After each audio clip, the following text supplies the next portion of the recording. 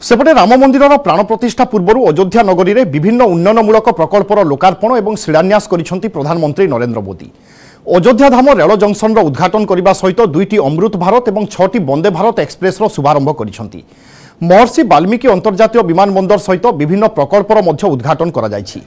ভক্ত সুবিধা বাইশ তারিখ প্রাণ প্রতিষ্ঠা উৎসবক নযাই তেইশ তারিখর অযোধ্যা যাওয়া পরামর্শ দিয়েছেন প্রধানমন্ত্রী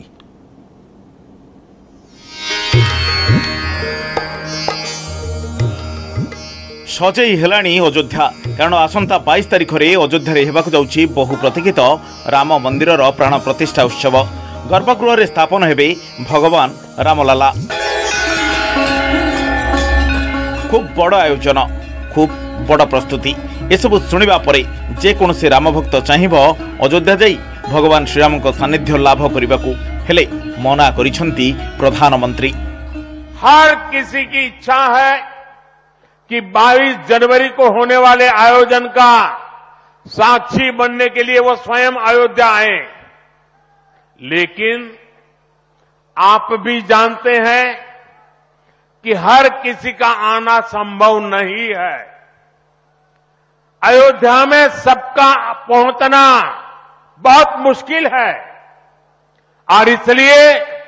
सभी राम भक्तों को, देश भर के राम भक्तों को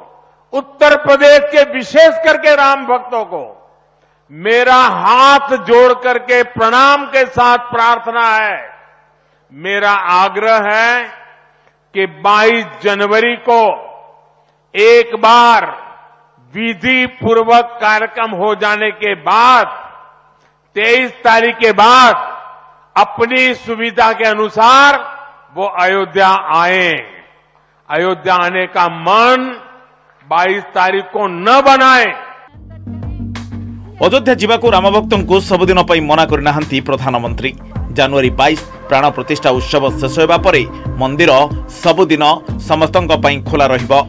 তেইশ তারিখর ভক্ত মানে যাই ভগবান শ্রীরামঙ্কর দর্শন লাভ করে তেবে বাইশ তারিখ প্রাণ প্রতিষ্ঠা উৎসব দিন প্রতিটি ভারতীয় ঘরে দীপ জাড়ি দীপাবলি মনাইবা প্রধানমন্ত্রী ये ऐतिहासिक क्षण बहुत भाग्य से हम सभी के जीवन में आया है। हमें देश के लिए नव संकल्प लेना है। खुद को नई ऊर्जा से भरना है। इसके लिए 22 जनवरी को आप सभी अपने घरों में, मैं पूरे देश के 140 करोड़ देशवासियों को अयोध्या की इस पवित्र भूमि से प्रार्थना कर रहा हूँ। अयोध्या की प्रभु राम की नगरी से प्रार्थना कर रहा हूँ। मैं 140 करोड़ देशवासियों को हाथ जोड़ करके प्रार्थना कर रहा हूँ कि आप 22 जनवरी को जब अयोध्या में प्रभु राम विराजमान हो अपने घरों में भी श्री राम ज्योति जलाएं दीपावली मनाएं ପ୍ରଧାନମନ୍ତ୍ରୀଙ୍କ ଏହି କାର୍ଯ୍ୟକ୍ରମରେ ଉପସ୍ଥିତ ଥିଲେ ଉତ୍ତରପ୍ରଦେଶର ମୁଖ୍ୟମନ୍ତ୍ରୀ ଯୋଗୀ ଆଦିତ୍ୟନାଥ ଅଯୋଧ୍ୟାକୁ ନେଇ ପ୍ରଧାନମନ୍ତ୍ରୀ ଅତୀତରେ ନେଇଥିବା ସଂକଳ୍ପ ଏବେ ପୂରା ହୋଇଥିବା ଯୋଗୀ କହିଛନ୍ତି 500 वर्षों का इंतजार समाप्त होने जा रहा है प्रभु के आगमन के पहले प्रधानमंत्री जी का संकल्प था ना अयोध्या को दुनिया की सुंदरतम नगरी के रूप में स्थापित करेंगे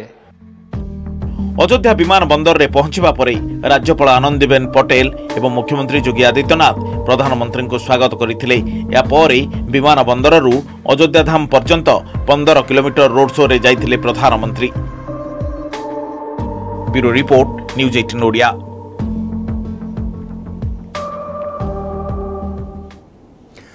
어저께